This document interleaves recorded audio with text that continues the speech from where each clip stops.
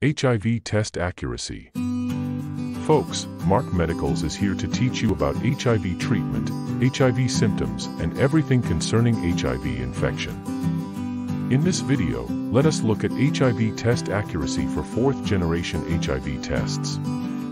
Here are 8 facts for you. 1. You guys already know that the fourth generation detects two things, that is antibodies against HIV and HIV antigens. 2. If you got infected with HIV today, antigens start appearing in two weeks, while antibodies come in later by the fourth week, meaning that fourth generation HIV testing can detect HIV as early as two weeks. 3. The HIV test accuracy of the fourth generation HIV test is of course affected by the window period which is about 2 weeks to 45 days. So if you want to know how soon you have been infected, then this HIV testing is for you.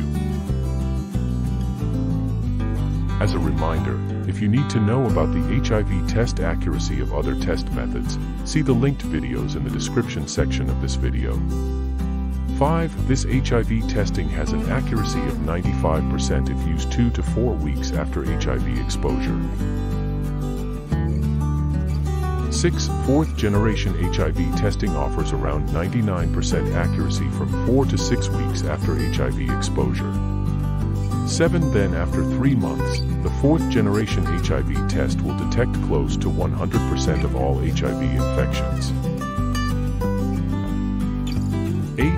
Test before 3 months, Mark Medicals recommend a second confirmatory test after 3 months using Western blot which gives 100% HIV test accuracy after 3 months.